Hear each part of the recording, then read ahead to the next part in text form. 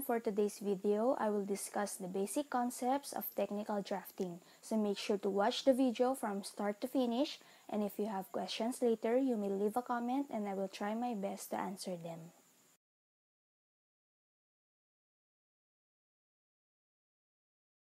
Technical drafting is the act and discipline of composing plans that visually communicate how something functions or has to be constructed.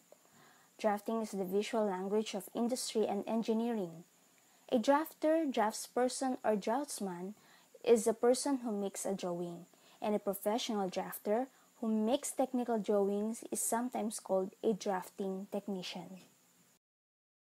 People who communicate with technical drawings may use technical standards that define practical symbols, perspectives, units of measurement, notation systems, visual styles, or layout conventions.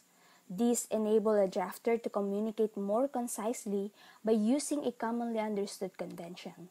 Together, such conventions constitute a visual language and help to ensure that the drawing is unambiguous and relatively easy to understand. So, the history of technical drawing began in principle in the 15th century after Christ. Today's best known representative was Leonardo da Vinci, with his many inventions like the chain of links and war machines. The fundamental basic knowledge of geometry was even before the birth of Christ by mathematicians such as Pythagoras of Samos or Euclid of Alexandria discovered and explored.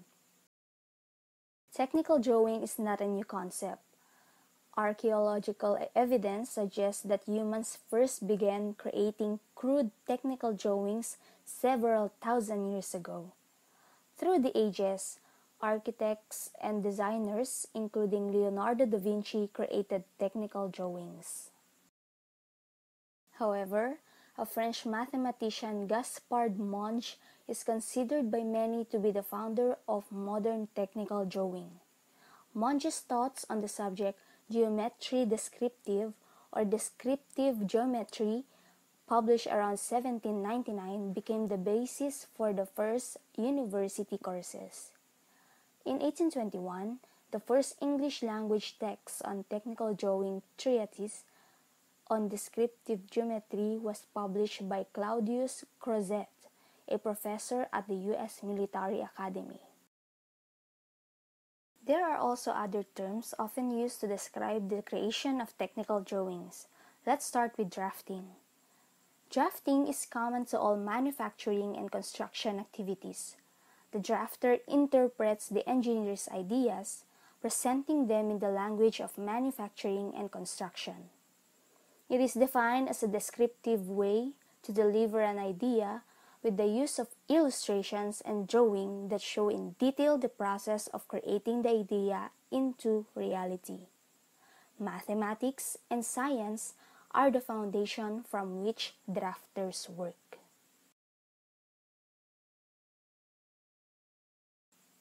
Second is engineering graphics. Engineering graphics is the creation of engineering drawings.